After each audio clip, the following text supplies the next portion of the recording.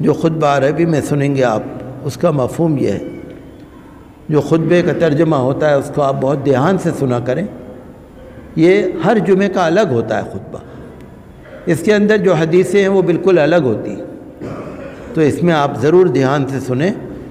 تمام تعریفیں اللہ تعالیٰ کے لیے ہیں، جس نے ہمیں قرآن کریم سکھایا، جس نے انسان کو پیدا کیا اور بیان کا اظہار سکھایا۔ میں گواہی دیتا ہوں کہ اللہ تعالیٰ کے سوا کوئی معبود نہیں، اس کا کوئی شریک نہیں، اور میں گواہی دیتا ہوں کہ ہمارے سردار، ہمارے مولا، حضرت محمد صلی اللہ تعالیٰ علیہ وسلم اللہ کے بندے اور اس کے آخری رسول ہیں۔ جو اگر نہ ہوتے تو یہ ساری کائنات نہ ہوتی۔ اللہ کے بندوں، دنیا میں غور کرو۔ دنیا کی نعمتوں کے اوپر غور کرو۔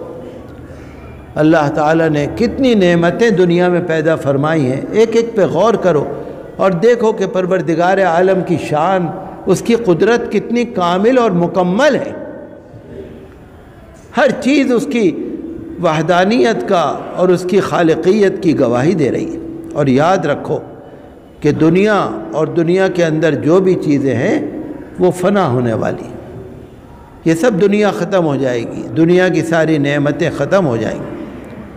حضرت ربیہ بن کعب الاسلمی رضی اللہ عنہ روایت کرتے ہیں کہ ایک مرتبہ میں رات میں رسول صلی اللہ تعالیٰ علیہ وسلم کے ساتھ تھا اور میں رات میں آپ کے پاس رات گزارا کرتا تھا اور میں آپ کی ضرورت کے لیے پانی لاتا تھا اور جب آپ وضو فرماتے تھے تو وضو کا پانی بھی لاتا تھا۔ تو ایک دن حضور صلی اللہ علیہ وسلم نے فرمایا کہ مانگو، کیا مانگنا چاہتے ہو؟ سبحان اللہ۔ اللہ تعالیٰ نے اپنے رسول کو سب کچھ دیا تھا، سارا اختیار دیا تھا۔ فرمایا، مانگو، جو مانگنا ہے مانگو۔ تو میں نے کہا کہ حضور، میں تو یہ چاہتا ہوں کہ جیسے دنیا میں میں آپ کے پاس ہوں، جنت میں بھی آپ ہی کے ساتھ رہوں۔ حضور نے فرمایا کیا یہی یا کچھ اور؟ تو میں نے کہا، نہیں حضور، بس یہی ایک یہی ایک مراد ہے کہ جنت میں بھی میں آپ کے ساتھ ہی رہوں۔ تو حضور نے یہ فرمایا کہ تم میری مدد کیا کرو، زیادہ سے زیادہ سجدہ کر کے۔ یہ نہیں فرمایا کہ جنت کا معاملہ میں تمہیں نہیں دے سکتا، یہ نہیں فرمایا۔ یہ نہیں فرمایا کہ جنت میں میں تمہیں اپنے ساتھ نہیں رکھ سکتا۔ بلکہ حضور نے یہ فرمایا کہ تم میری مدد کرو زیادہ سے زیادہ سجدہ کر کے۔ یعنی نمازیں پوری پڑھو، فرض نمازیں پڑھو، نفل نمازیں پڑھو۔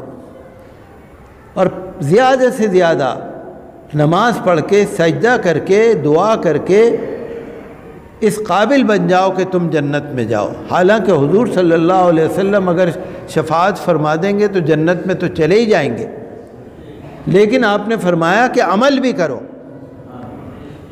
تو یہ ہمارے لیے بھی نصیحت ہے کہ پانچ وقت نمازیں، نفل نمازیں، عبادت، یہ تمام چیزیں ہم لوگ زیادہ سے زیادہ کریں۔ اور اس سے پتہ لگتا ہے کہ دین اور دنیا کی کامیابی اسی میں ہے۔ کہ ہم نمازوں کی پابندی کریں اور زیادہ سے زیادہ سجدے کر کے اللہ کو راضی کریں۔